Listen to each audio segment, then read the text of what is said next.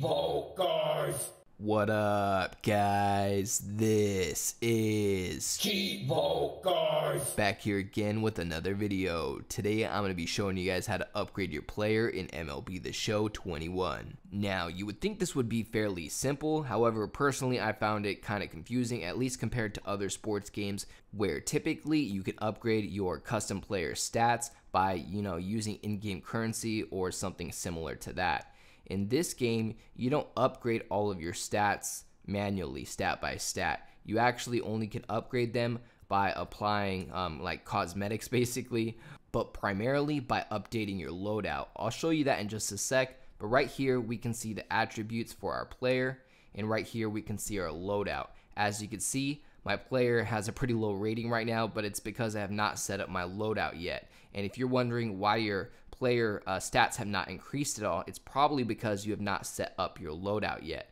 So what you want to do is you want to click this orange uh, diamond right here with the plus sign, and we have three different power up slots. And what we want to do is we want to select the best power up for each slot. Now, as you can see, when I hover over each one, it shows how it impacts our overall rating. Of course, I want to pick the one that boosted me up to a 73 overall rating. Aside from that, you want to make sure that you're getting the best rating possible. Just make sure you hover each of the ones that you have available and that you are selecting the best ones that are going to give you the best rating. Ultimately, I have some gold and silvers. I'll show you guys how I got those. But when you first start the game, you're only going to have bronze ones. But even with those, you should be able to get up to 70, maybe a little bit over 70 with the stock uh, power ups. Just make sure that you find the ones that impact your overall the most. As you can see here, the pointer um, impacted mine the most. So what I'm going to be doing is I'm going to show you guys some ways to unlock these power ups um, if you want to increase the quality of your loadout. Now, one way would be to find them in packs. Other way would be to buy them in the auction house. So I'll show you guys how to do both of those. For now, the highest I was able to get my rating was a 73. This is plenty enough to be able to get all of the achievements or trophies in the game. Make sure you guys keep an eye out for my video guides related to this game if you need help getting some of these achievements. Other than that, this is also where you can apply the equipment, aka the cosmetics that I was telling you about. Some of these do impact your stats. For example, I don't have a ton, but we'll go through each category and see if I have any and I can show you how it impacts my stats. As you can see, um, that glove right there impacted a few of my stats. That impacted two of my stats. And once you start the game, you're not going to have too much. I don't think the bat skins affect anything because that's purely a cosmetic. But some of the other stuff like the gloves and things like that, they do affect your stats. So you want to make sure that you have pretty good equipment. That's going to help increase the stats on your player as well. So ultimately, what it comes down to is equipment and your loadout. If you increase the quality of your equipment and increase the quality of your loadout, ultimately you're going to make your player better. Now, once I completed my first game in the Road to the Show, um, I actually completed the first game, the full thing, and I unlocked a pack.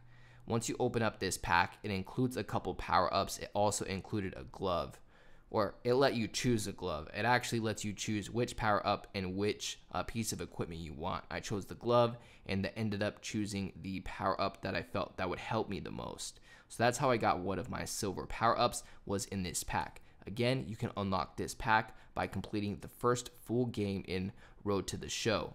Next, I'll show you how to buy these things off of other players. What you want to do is you want to go to the marketplace and then you want to go to equipment and perks. The perks are the power ups that I mentioned earlier. That's what we put in our loadout.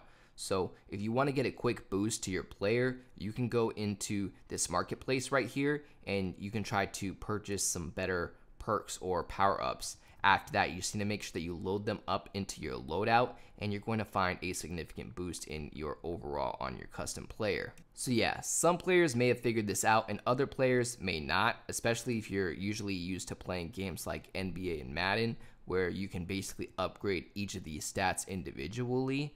Um, yeah, this is nothing like that. You're going to have to upgrade your stats or attributes on your player using your equipment and perks. If this video helped you understand the upgrade system in this game, let me know down in the comments below. I was really trying to find a video like this when I was trying to figure it out, and that's what prompted me to make this. So make sure you guys keep an eye out from other video guides, mostly achievement guides related to MLB The Show 21. Other than that, I'd like to give a huge thank you to all of my Patreon subscribers. We just hit 15 patrons. I'd like to give a special shout out to everybody in the biggest fan club, including Tim G84, AOJ, Kegger101, Michael Banksa, and Purple Rain 6. As always, I appreciate you guys tuning in. If you enjoyed this video, please leave a comment and don't forget to like and subscribe.